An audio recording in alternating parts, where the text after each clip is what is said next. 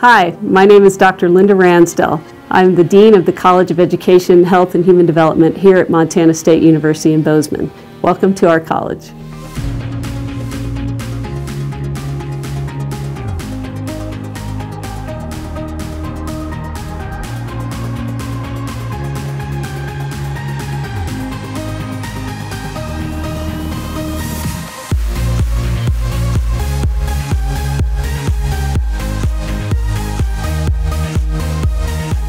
Bridger on this lovely day today doing some ski research and we're testing the differences in one-legged skiing and two-legged skiing because by the time ski racers are 14 years old they're supposed to be able to sufficiently ski on one leg.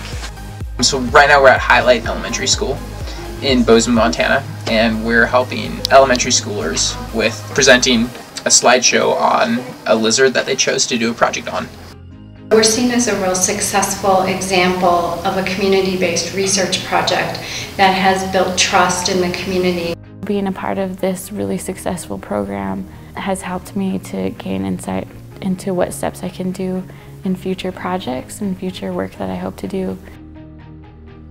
We're in the process of building a prosthetic leg for a Doberman named Annie.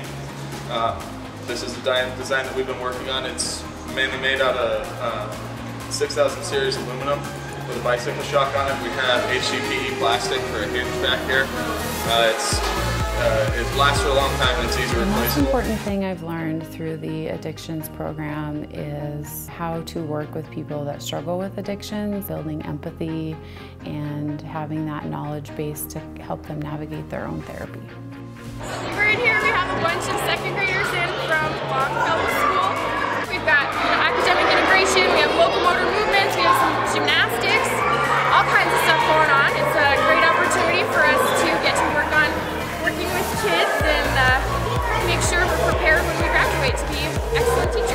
We are collaborating on leading this integrative lab, which consists of a sensory lab and a phytochemical and genetics lab, and together we collaborate on studies to translate field, behavioral, and natural science research to address society's most pressing food challenges.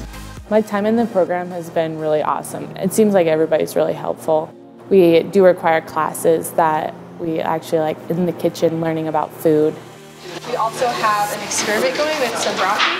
So we're seeing uh, the difference between if you cook it in an acid or a base and see how it affects like the texture and um, taste and the color, that sort of thing.